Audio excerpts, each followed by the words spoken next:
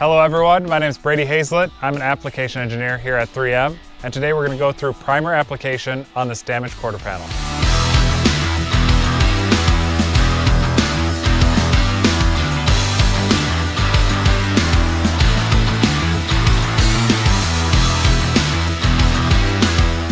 Before we get started, you always want to wear the appropriate personal protective equipment for the job. Since we'll be painting today, I'll be wearing a full paint suit along with shoe covers, safety glasses and gloves, and the respirator I'll be wearing today is called a PAPR.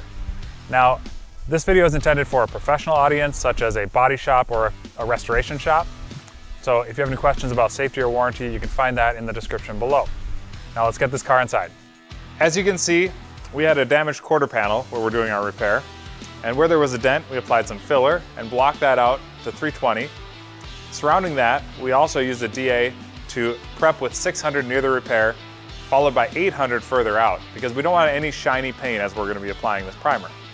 And today we chose to do an etch primer, followed by a urethane primer surfacer. We find that's pretty common in most production shops. If you have the time, epoxy primer will also work.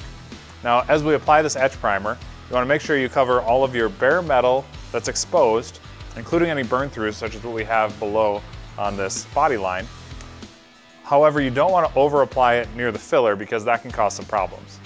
So next we'll show you how to set up the spray gun for that etch primer application.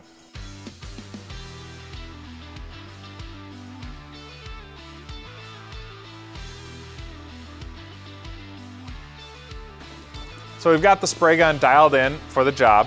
What I was doing on the paper is dialing that fan knob in as I went across because I wanted to bring that pattern down in size. So I arrived at about a quarter turnout on the fan knob and I kept it at about 10 psi of air pressure. However, I'm really feathering that trigger as I apply it because I don't want to over apply it on the panel. I've got it set up for the larger area of the repair where we have more of the bare metal. However, I will dial it in and close off that fan entirely to get it, get it as small as possible as I do the little burn through areas on the body lines as well.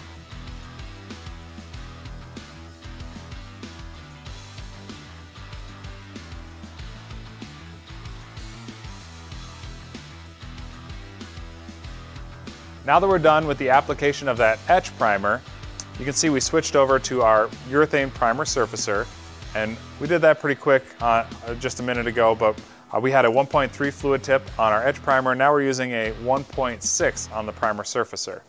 I also forgot to mention that before and after sanding, you're gonna to want to clean the panel with a waterborne and solvent-borne cleaner, uh, which we had done prior to shooting the video. And also while we're waiting for this material to flash, we can talk a little bit about the masking. So you can see in the leading edge of the quarter panel, we've got it back taped and we have it taped pretty tight up to that edge. And we did that same thing here in the wheel arch as well as down where the quarter meets the bumper. And the reason you want it taped up close to that edge is because we're gonna be applying some primer to it and you don't want that primer to travel too far around the edge because the next couple layers of coating need to cover that as well as it saves you some time in sanding. Now on the back edge of the quarter, we rolled the tape over and that's called backmasking. And the reason we did that is if we happen to apply that, that surfacer close to that tape, it'll create a nice soft edge for us, which saves some time in sanding. All right, let's get the gun set up for the application of primer surfacer.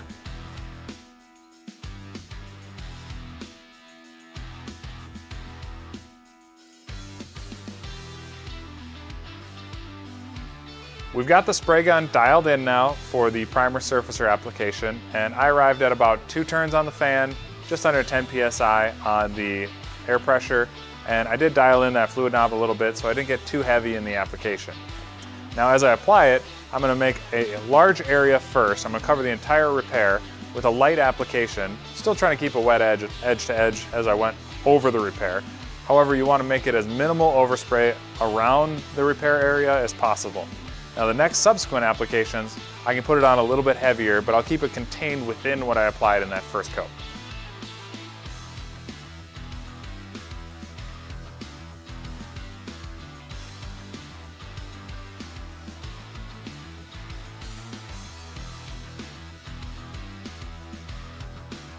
Now that we've finished up our three coat application of our primer surfacer, we're going to allow that to cure per the manufacturer recommendation, and then we'll begin blocking to get the surface level.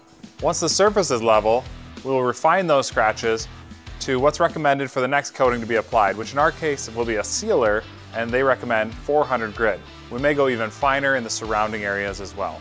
That's all there is for this video. Thank you for tuning in. Feel free to comment, share, or subscribe, as well as check out the in the description there is a link to additional 3M Collision Repair Academy videos. Thank you all for watching. I'll see you next time.